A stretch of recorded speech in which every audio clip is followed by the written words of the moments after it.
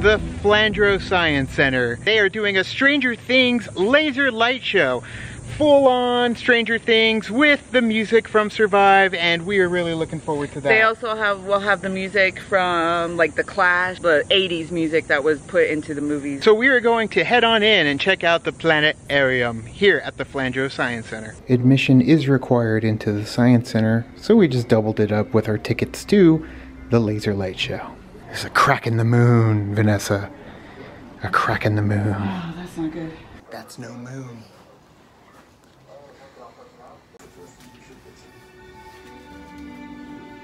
Doesn't it look like the Millennium Falcon?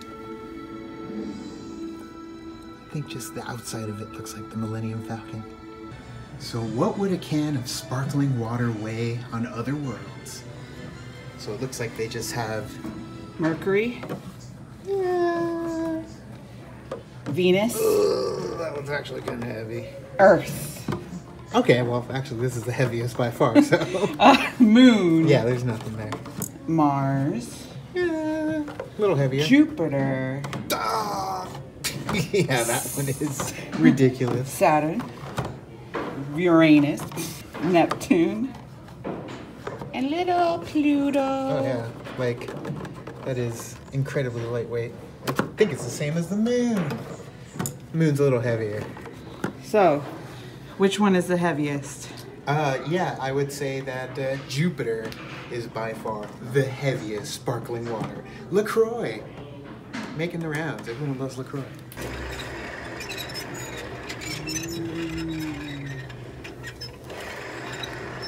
Insert joke here.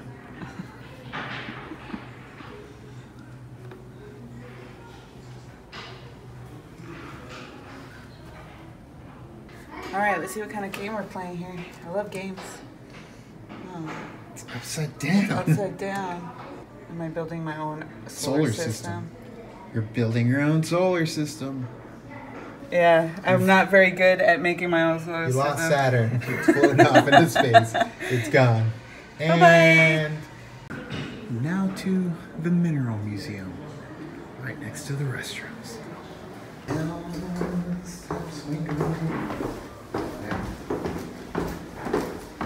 There are a ton of minerals down here, and I'm pretty sure they are getting their own museum eventually at our old courthouse here in Tucson.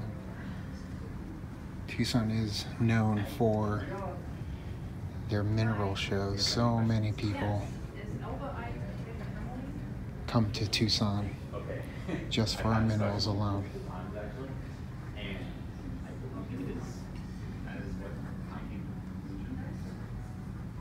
They're classing up the place with some elevator music. Smell it gold. I love the smell of it, the taste of it. Yeah, I was. Gold it- it and is silver. it. Silver and gold. Dang, so there's this whole room of minerals. But So it's there's a whole me, nother exactly. room back there too. So Where it looks like they've got fossils. Fossils. Dinosaur eggs. Skunk. Cave bear skull. Crab people. Crab people. Condors. Condors are on the verge of extinction. If I made a flock of condors, you wouldn't have anything to say about it. Jurassic Park. See, yeah, growing up, it wasn't so much the minerals that intrigued me, but the fossils. Loved always going to the mineral show. Brachiosaurus with fish. Reptile. Entertainment. Careful, Vanessa, don't eat the rubber. No! Don't eat, don't eat the rubber bands. See if I can make that. It appears I have.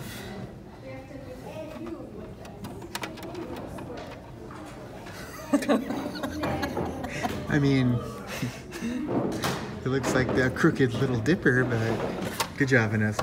Thanks. I try. All right, now we're talking, Vanessa. Now we're talking. Poop. Your poop mouth? Poop in your mouth? Oh, that's a beefy. That's a Chipotle number right there. Cuckoo for Cocoa Puffs. For the water cycle challenge, it looks like somebody massacred a trouble. We've seen this before.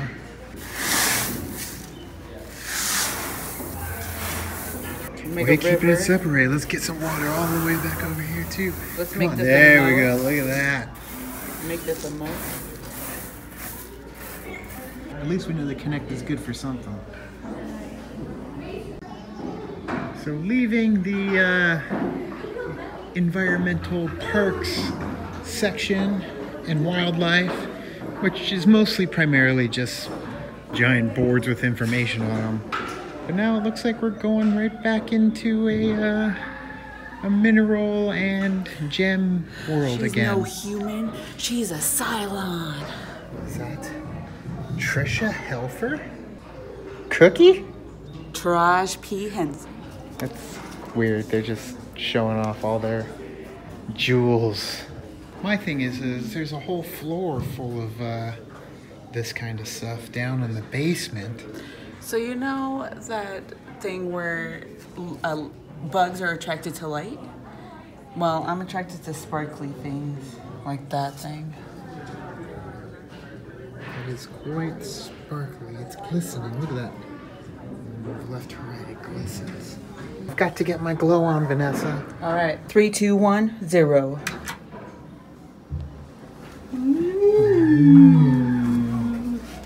Oh man, when we used to come to the Flandrau Science Center, things were way different. This guy. This is what they used for projection in the planetarium itself. Now it's all basically done with a box a quarter of the size of this. But I remember coming in and seeing this guy set up right in the middle to the olden days of technology. No matter how many places you go and how many times I've seen this thing, I always, always have to do it because it's just kind of mesmerizing. Oh, the gravity well. We've got ourselves a penny and a dime. Which one do you think's gonna hit down first?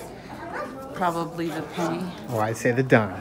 Three, two, one, go.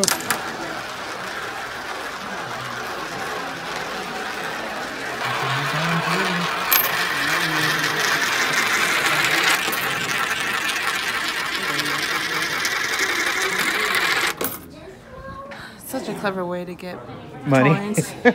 I won. What's the name of this game, anyways? I win. So, solar dough in Arizona changes colors based on the sun. For six bucks, you basically just bought dough that's one color because uh, it's always sunny in Arizona. Oh, here it is.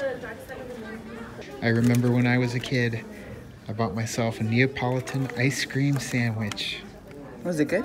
Uh, it was awful, partly because uh, it is there- there's no water in it, and it's just crunchy. I've never had it, so maybe we should get one to try it out. They've got whole strawberries. How much are these? Four Four fifty. fifty. You going for it? Might as well. She's going for it. It looks so cute. Inception. It's a one finger within a one finger. I get it. Look at that. Watch out for the moon's gravity. Oh, that's the wrong direction. Gravity would pull you. Oh, yeah, there you go. It's God's thumbnail. Which one is the one for that they landed the first landing on the moon? Surveyor. In Apollo 11. There it is. Yep. Okay. You want to see where Apollo 13 was? Uh, they never made it. Yeah, but they made it safely home, so that's good. And that's all that matters. Yes. So Vanessa has decided to go for the uh, vanilla ice cream sandwich. I've never had uh, astronaut ice cream before, so Basically, it's I guess you could say it's more like an ice cream cookie. all right, dig in.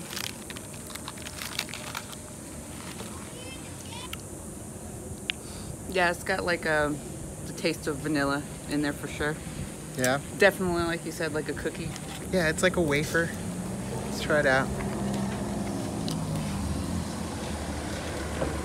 It's a cookie, Yeah, essentially. It's, a cookie. It's an ice cream sandwich cookie, and it's it's not bad. it's all right.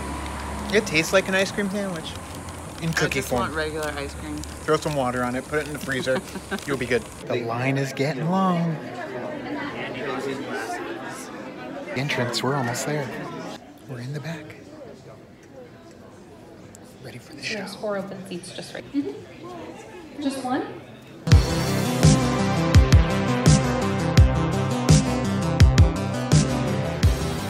So that was a hell of a thing.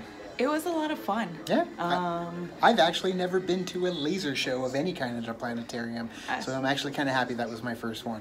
I've been to a couple, and I do enjoy this one because of the music. Um, every time they did play the music from the the show, though, that was my most, the best parts for me personally because I love the music from the show, like the the what you call the score essentially from the show. And so, although um, they played a lot of like tunes from the '80s, and I, a lot of them I was like singing along to them because I know them. Yeah, they're fun. The 80s music is definitely, you know, what brings the nostalgia to Stranger Things.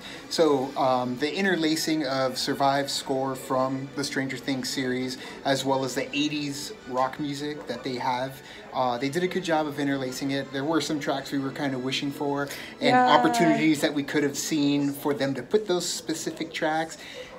More specifically we were looking we were hoping that they would do uh, she'll kill you It's like one of our favorite tracks from the show so i'm sad they didn't do that however they did do kids which is great and then they did do the song from the second season where they're trying to like get everything ready so that they can interrogate will uh, but that was good It was. It was a lot of fun, and uh, it was a packed house, so that was cool to see everybody come out for Stranger Things. And then the laser effects that they used to actually s- basically do what they do in the show with the title cards for each individual chapter. Um, that definitely was awesome to see on a, a laser display, you know? just like all the laser shots that were going on on screen too were pretty cool like all the outlines of the demogorgon and the Mind Flayer and, all that good stuff and- yeah. yeah So definitely check it out if you have a chance to see it, if it's playing at your planetarium. If it does show up and you're into Stranger Things, it's a lot of fun. It's so tranquil too, just sitting there Yeah. at the lasers.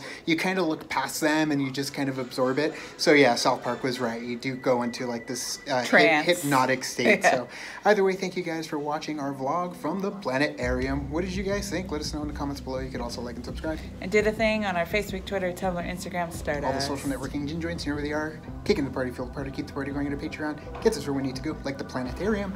And uh, yeah, so if you get a chance, check it out. now it's time to say goodbye This party's over.